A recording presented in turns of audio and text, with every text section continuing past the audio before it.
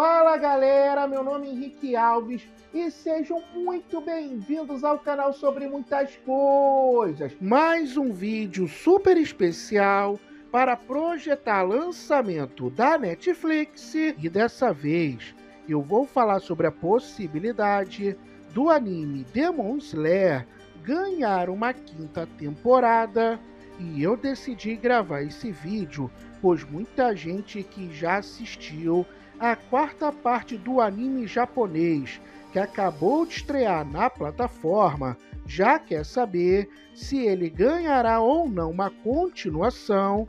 E quem me acompanha aqui no canal sabe o quanto eu curto falar sobre animes e também sabe que eu não gosto de ficar enrolando.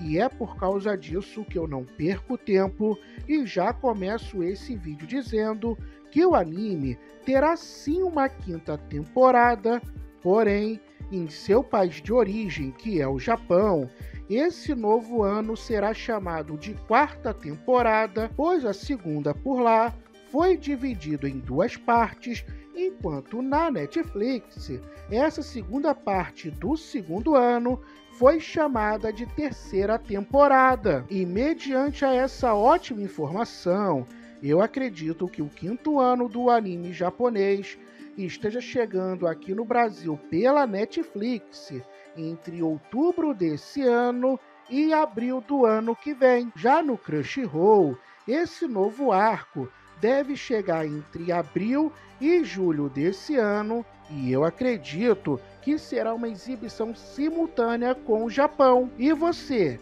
já assistiu a quarta temporada de Demon Slayer?